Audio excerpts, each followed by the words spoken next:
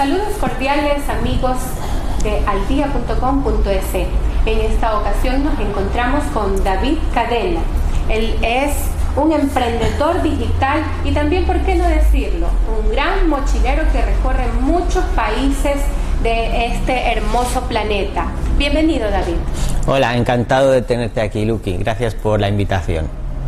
Muy bien, David, nosotros quisiéramos que tú nos hables un poquito acerca de ti, acerca de lo que realizas.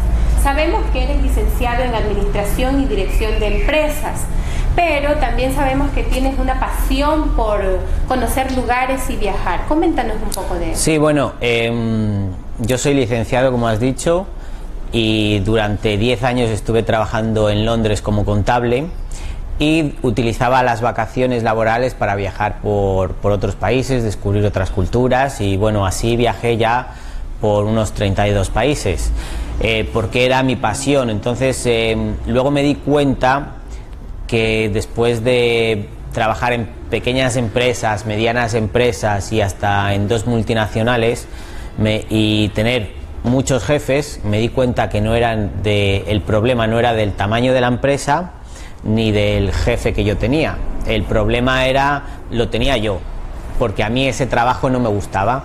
Entonces, cuando yo descubrí esto, pues eh, había dos caminos. O que quedarme donde estaba y quejarme todos los días con lo infeliz que era en mi trabajo, o decidir cambiar. Entonces yo, afortunadamente, pues eh, fui valiente, decidí cambiar y ahora estoy aquí con vosotros contando mi historia y dedicándome a lo que más me apasiona, que es viajar y sobre todo ahora mismo eh, impartiendo unas charlas en universidades y en unidades educativas para transmitir mi mensaje. Así que ese es eh, mi foco principal en esto y mi objetivo durante el viaje. David, justamente hablando un poco de tu historia, eh, sabemos que tú naciste en España, eres español, nacido en Valladolid. Sí, efectivamente pero residiste gran parte de tu infancia acá en Ecuador. Sí, bueno, gran parte yo diría que toda mi infancia, hasta los 10 años, más hasta o menos. Los 10 años. ¿Cómo así un español eh, viene acá a Ecuador? ¿Tienes familia de pronto acá? Sí, eh, mi padre es eh, ecuatoriano, eh, tengo mi madre que es española, entonces pues de pequeño pues mi infancia la pasé aquí con, en Quito, concretamente en, el, en los Maristas, en el Borja 2. Hasta sexto, sexto grado es aquí, sí. Muy bien. Bueno, y, como ecuatoriana que soy, entonces yo quisiera preguntarte, porque en realidad eh, los primeros años de la vida del ser humano son básicos y elementales para el resto de su formación. ¿Cómo fue tu infancia aquí en Ecuador? Pues eh, yo no estoy de acuerdo con lo que acabas de decir, porque yo creo que durante la infancia de una persona es cuando eh, se está eh, experimentando y conociendo todas las cosas que, que, tiene a su alrededor, pero no creo que esos años le sirvan para formarse y para tener una, unos criterios más eh, formados en su madurez. Entonces, yo la verdad la pasé muy bien en la infancia, disfruté mucho de, de, la cultura de aquí, descubrí muchas cosas, entonces cada vez que vengo aquí yo como todo eso ya lo he vivido y ya lo he sentido, pues me siento como en casa. ¿Y qué tal tu estudio en una escuela marista? Pues eh, me gustó mucho, era, era um, solo de chicos y bueno, era una escuela marista que, que los maristas son de origen español, entonces pues también eh, con algún con algún rector con el que hablé o algún profesor, pues ellos me tenían también acento español. Aunque yo cuando estuve aquí estudiando, pues yo tenía acento de, de Quito. Luego ya el acento pues también te cambia. Cuando yo volví a España me cambió completamente el acento y, y bueno, ya no creo que, que, me vuelva a cambiar o no sé, aunque lo pueda mezclar con todas las palabras que hay aquí y seguramente con todas las palabras que vaya conociendo en Perú y en Chile y en Argentina, al final cuando acabe mi ruta por Sudamérica seguramente hablaré de todo. Así es. Hablando un poco acerca de tus viajes, dices que has recorrido 32 países. ¿Cuáles son los que de pronto se te vienen a la mente, las experiencias eh, que han impactado tu vida en algunos de estos países?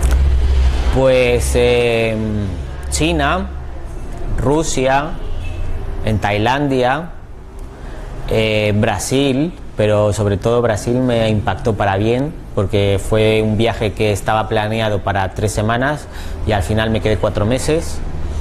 Y en los otros países que he mencionado antes es más sobre todo la dificultad a la hora de, de ver las cosas escritas, porque como tienen un alfabeto totalmente distinto, cuando tú ves algo pues no reconoces lo que, lo que es. Y a mí me ha pasado de ir a un supermercado a lo mejor a comprar un, un litro de leche y como no entendía lo que compraba, al final terminé comprando yogur con sal, que es muy típico de los sitios turcos, pero como estos sitios turcos y están extendidos por todos los sitios, pues al final, y en, en Rusia también hay mucho de esto, porque es una mezcla de mongoles también, pues terminé comprando el yogur con sal que no me gusta nada.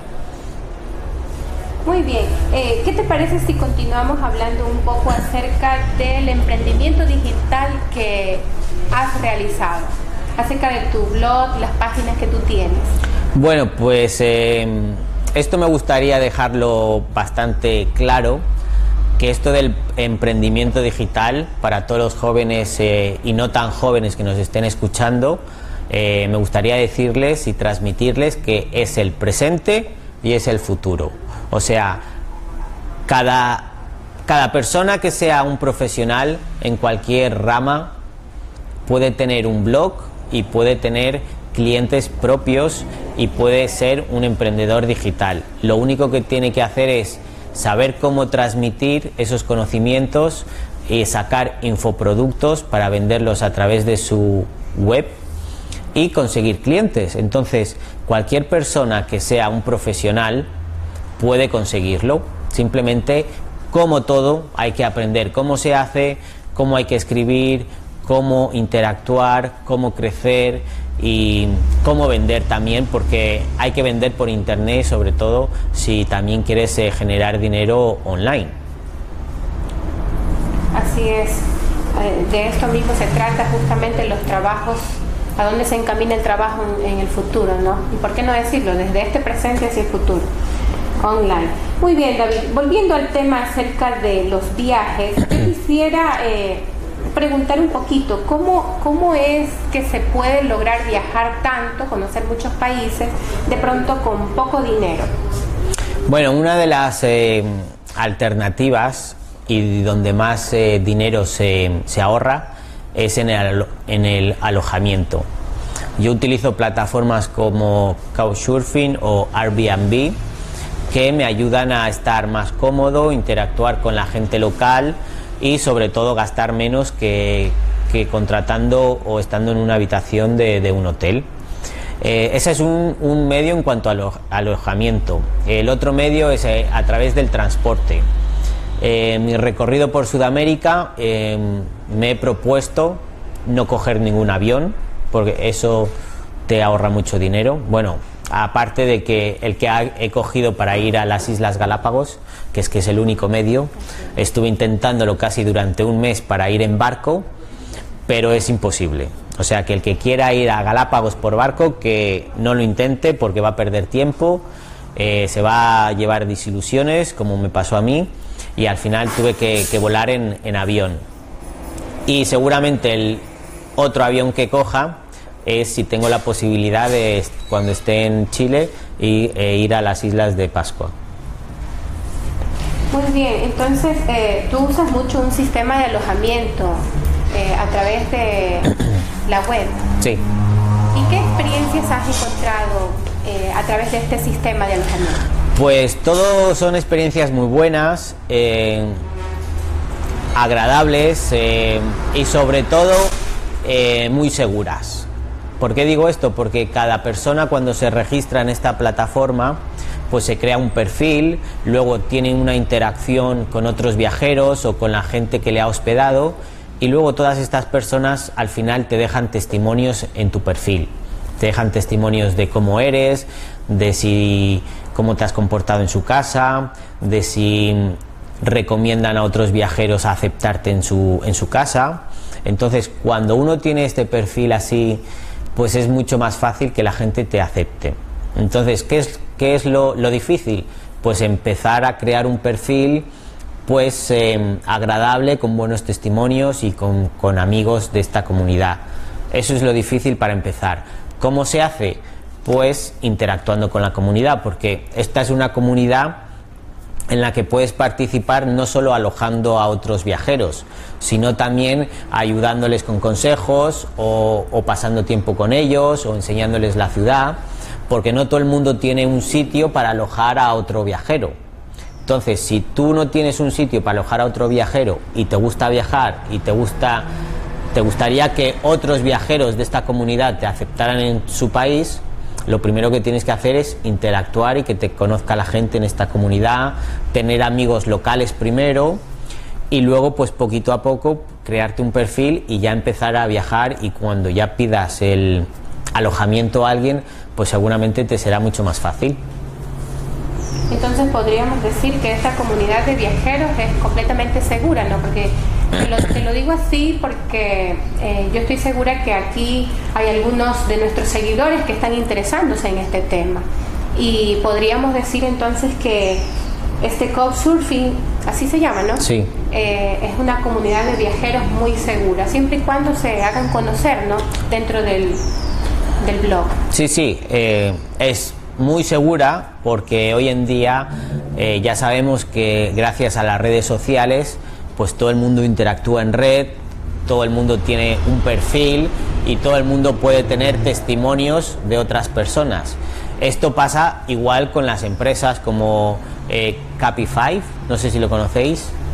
Es una empresa de taxis también que ¿quién va a contratar a un taxista si no lo conoce?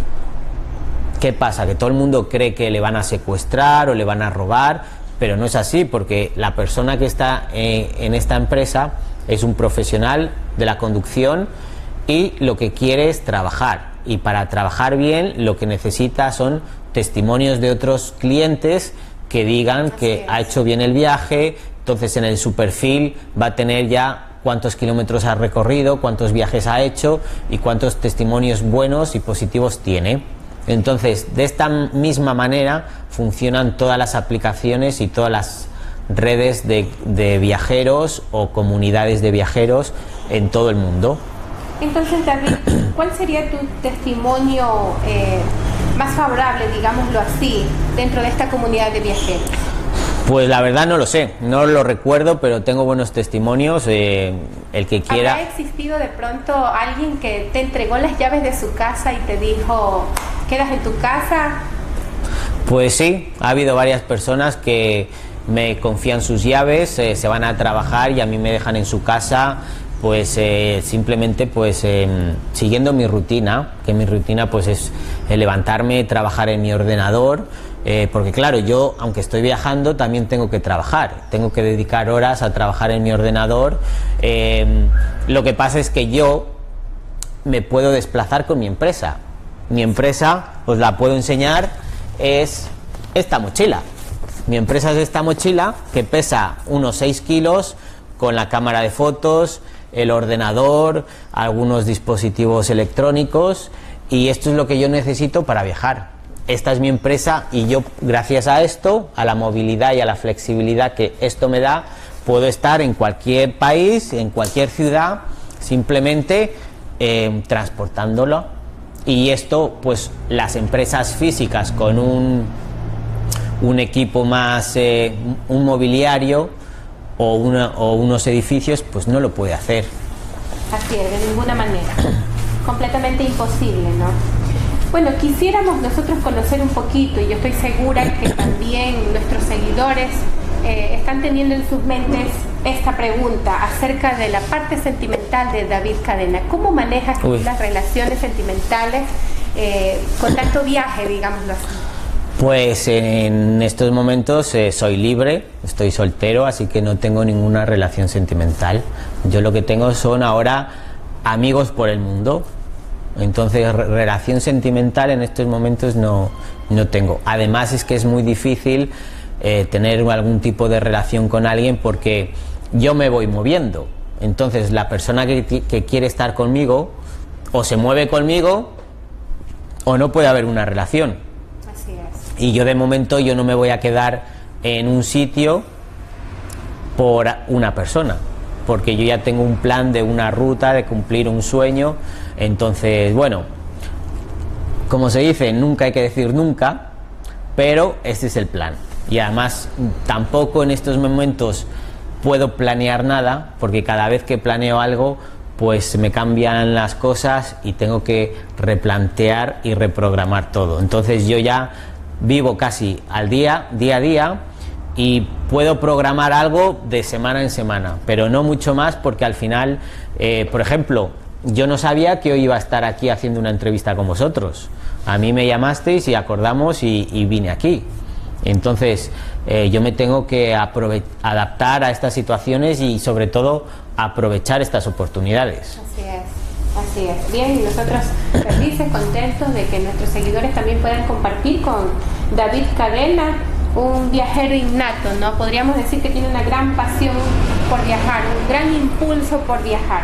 David, nosotros quisiéramos ir cerrando esta entrevista y de pronto eh, cuando interactuábamos y conversábamos antes de, de pasar a las cámaras, escuché que has atravesado también algunas dificultades en algunos países. ¿Cómo puedes tú superar esas dificultades? O de pronto como para poder entender un poco más ¿cuál sería el problema, el problema más difícil que atravesaste en algún país y cómo lo superaste? Bueno, em, el, el, problema sí más difícil que tuve que enfrentarme fue que por la burocracia de en México, esto fue en México, eh, fue por la burocracia que cada vez que entras al país te dan un papelito de inmigración, pues este papelito como me estuve moviendo en México, pues al final lo perdí. ¿Qué pasó? Que cuando yo quería volver en avión, eh, no me dejaron subir al avión porque no tenía ese papel.